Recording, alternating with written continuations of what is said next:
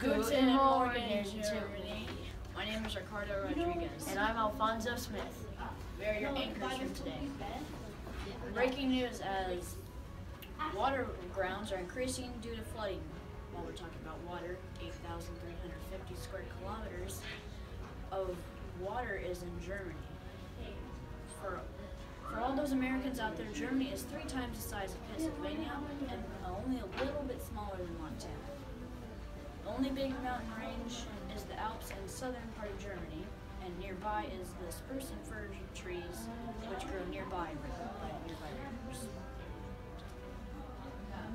Now over to Bob for the weather report. degrees Celsius and it's quite windy, but it's starting to flood because it's pouring right now in Berlin.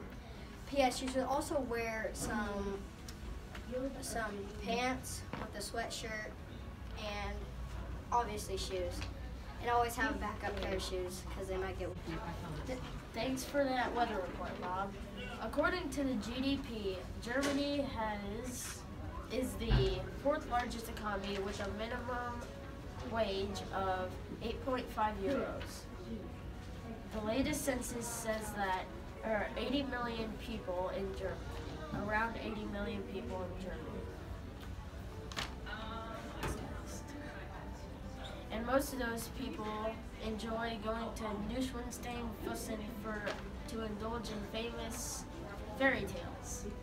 The others enjoy seeing Eschenheim Tower, built in the early 15th century.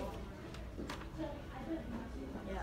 And finally, a vote for favorite food and drink leaves pretzels and apple beer. Now, Helen with a small segment about our culture. Hello, I'm Helen Sorcerer, and here we are in Frankfurt, Germany. If you guys heard of Groundhog Day, then you must have heard, we must have heard that Germans started that. That is only one of the ten holidays, I mean celebrations, that were started in Germany. Everyday life in this country is very simple. Most Germans ride on bikes more than cars. Interesting. Well, that's all I have. Back to you, Ricardo. Well, if you foreigners were watching that, you probably wanted to know some of that culture, so thanks for that report, Helen. Well, I think that's gonna have a wrap for our news, for daily news for today. all Auf things Wiedersehen.